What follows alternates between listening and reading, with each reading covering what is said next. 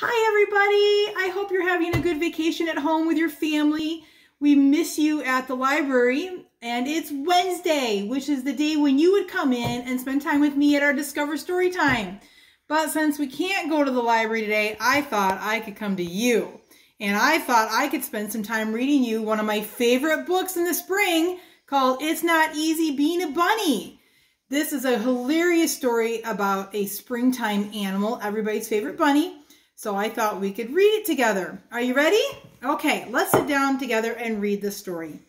It's Not Easy Being a Bunny by Marilyn Sadler and illustrated by Roger Bollen. Yay!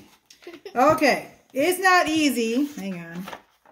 So excited. Okay, it's not easy being a bunny. PJ Funny Bunny was very, very sad. He did not like being a bunny.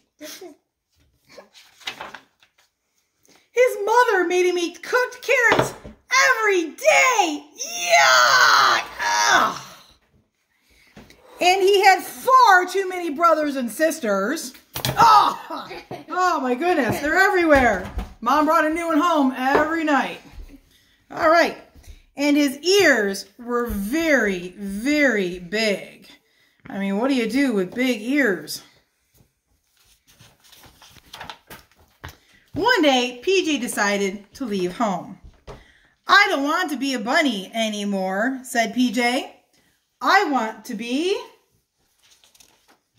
a bear! And PJ went to go live with the bears. But when the bears went to sleep for the winter, PJ could not fall asleep at all. Living with the bears was not very exciting. So PJ said, I don't want to be a bear. I want to be a bird. And PJ went to live with the birds. Yay! PJ liked being a bird until he tried to fly. So PJ said, I don't want to be a bear or a bird. I want to be a beaver. And PJ went to go live with the beavers. But PJ, the beavers like to work very hard. But PJ did not like to work at all. So PJ said, I don't want to be a bear or a bird or a beaver. I want to be a pig! PJ went to go live with the pigs. But the only thing the pigs liked to do was to sit in the mud. So PJ said, I don't want to be a bear or a bird or a beaver or a pig. I want to be a moose. And PJ went to go live with the moose.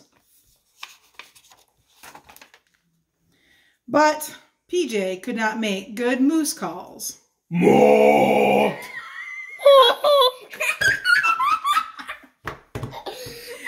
PJ So PJ said, I don't want to be a bear or a bird or a beaver or a pig or a moose.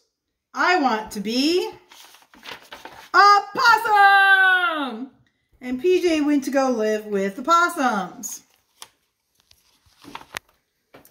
The possums like to hang upside down, but hanging upside down gave PJ a headache. And so PJ said, I don't want to be a bear or a bird or a beaver or a pig or a moose or a possum. I want to be a skunk. And PJ went to go live with the skunks. But it did not take PJ very long to figure out that he did not like living with the skunks. And so PJ said, I don't want to be a bear or a bird or a beaver or a pig or a possum or most of all, a skunk. What I really, really, really want to be is a bunny. And so PJ hurried home the funny bunnies were very happy to see him, and PJ was very happy to see them. That night, PJ ate all of his cooked carrots. Yum, yum, yum, yum, yum, yum, yum, yum, yum, yum, yum, yum, and he played with every one of his brothers and sisters all night long, even when they cheated at cards. He was so happy to be a bunny again that he did not care that his ears were very big. At least everyone can see that I am a bunny, PJ said, and not a bear or a bird or a beaver or a pig or a moose or a possum or a skunk. The end. I hope you liked our story today about PJ Funny Bunny. I sure did. And I really look forward to seeing each and every one of you again when the library resumes our Discover Time in hopefully just a few short weeks. We'll try to do more videos for you, so stay tuned. And we're going to have a video up very soon about how to make a craft to go along with our PJ Funny Bunny book. So look for that too. We look forward to seeing you guys all again soon. Check out our online stuff to keep you busy reading. And we will see you when we're back in business. Thank you. Bye-bye.